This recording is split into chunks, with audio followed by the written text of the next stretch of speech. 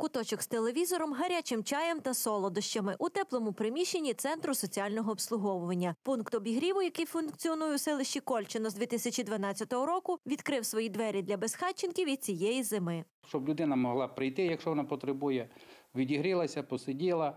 У нас є навіть місце, е, де може людина заночувати. Е, То є ізолятор наш, там нікого зараз немає, але якщо треба, ми підігріємо той, то, то, ту палату, і там може людина заночувати там скільки потрібно. День, два чи три, там така ситуація. Банк одягу створили при центрі, аби безхатченки або люди похилого віку мали теплі речі і не мерзли взимку. За необхідності лікар може надати першу допомогу при переохолодженні, але краще небезпеки для здоров'я уникати. Поради. По-перше, потрібно одіватися тепло. Коли великі морози людям по- е, постаршого віку, пожило старатися не виходити на мороз.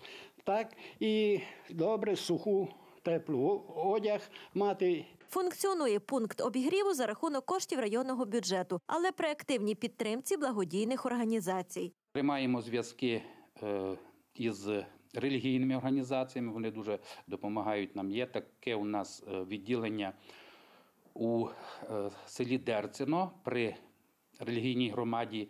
е, Реформаторської церкви наші три соціальні працівники розносять 75 гарячих обідів на село Форнош та Шенборн. От на ці два села венгерські фінансує церква. Надія милосердя є таке благодійна організація. Вони допомагають нам із одягом беушним. От така ситуація, гуманітарну допомогу. Працівники центру кажуть, щодня кілька людей заходять погрітися. Є в них і постійний відвідувач, який вже три місяці поспіль користується послугами пункту обігріву.